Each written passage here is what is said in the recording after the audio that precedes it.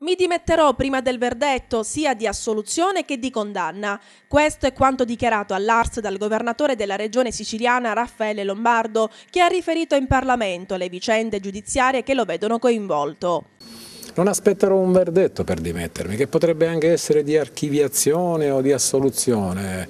Per carità, un minuto prima mi dimetto. Se domani mattina questo dovesse succedere, chiaramente darò seguito a questo mio impegno che tende a mettere al riparo la Presidenza della Regione da un rischio, quello appunto di un rinvio a giudizio piuttosto che di una condanna. Anche se... Il detto del giudice dovesse arrivare ad esempio a febbraio-marzo, lei prima ha detto invece... Ma in quel caso si vota in autunno, in, in, la mia è una scelta politica, non c'è dubbio, l'ho detto con molta franchezza, non è che stiamo giocando, qualcuno lamenta che qua si gioca. Si dimette comunque in autunno. Io mi dimetto in maniera tale che se ci sarà tempo potrebbe anche intervenire prima questo fatto, si voti entro l'autunno. Intanto oggi il governatore della regione si è presentato per la prima volta in aula al Tribunale di Catania per l'udienza del processo che lo vede imputato insieme al fratello Angelo per voto di scambio.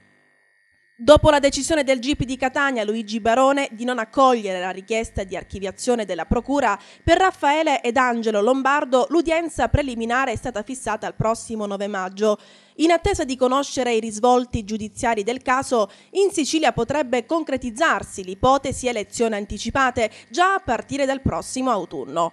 Alle probabili dimissioni del governatore infatti si aggiunge anche l'impugnativa del commissario dello Stato di 80 norme della manovra finanziaria approvata all'ARS. Per il commissario la manovra, così come è stata votata, esporrebbe il bilancio della regione ad un buco di circa 900 milioni di euro.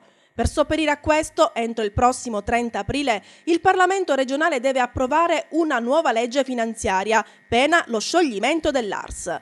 Ma anche in questo caso il presidente della regione dichiara che il suo governo affronterà la questione per evitare lo scioglimento. State tranquilli, adotteremo, credo, le misure che siano possibili, che sia possibile adottare.